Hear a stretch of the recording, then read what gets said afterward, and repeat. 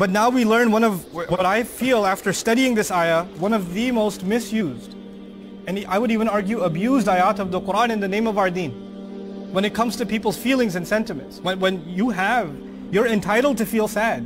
If there's something bad that happened to you many years ago, many months ago, ages ago, and you keep remembering it and it overwhelms you, you're not wrong. You can, you should seek help for it.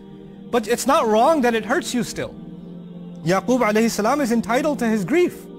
He's entitled to cry out. But when they complain to him like this and they yell at him like this, what does it mean? Sometimes people are in these tragic situations, but the loved ones around them or the family around them is not very sensitive. They don't want to hear it. They have no one to talk to. We're actually now kind of learning why has he been holding it in all these years? Because he had nobody to talk to. One time he opens his mouth and they snap. They don't give him a chance to speak. So what does he say? He says, قال إنما أشكو بثي وحزني إلى الله. I am only complaining about the things that I'm letting out of my heart. Bath actually means to spread, like وَبَثَّ فِيهَا you know, min, min kulli dabbatin, Allah says. When He spread on the land all kinds of creatures. Bath is tafriq aslan. It's to spread something out.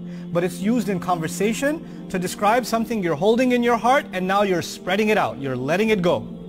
So he says, I'm only complaining about what I've been containing inside and I'm finally letting it out. And even when I do let it out and all of the sadness that I've been kept pent up inside, all of that which I've kept inside, I'm only complaining to Allah, not to you, not to anybody else. إِنَّمَا أَشْكُ بَثِّي وَحُزْنِي إِلَى اللَّهِ This is what I wanted to share with you is one of the most commonly misunderstood, you know, ayat in the Quran. It's not taken in its context. When somebody says, I'm having this problem or that problem, people say, Akhi, complain to Allah, don't talk to me.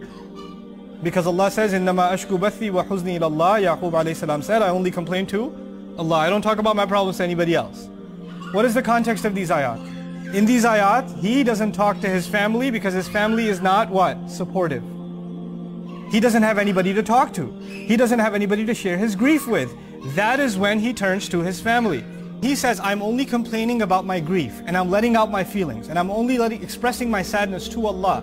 What he's essentially saying is I have no one in my family that I can complain to. I have no one in my family that will understand my feelings. So the only one I even, even when I do cry out, I have only Allah to cry out to. Even Rasulullah sallallahu wasallam, when he had a problem in his married life, he sought, he sought out, outside counsel. He sought help from the outside.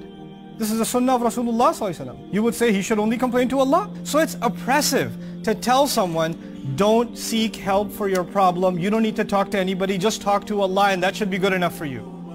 That is not good advice.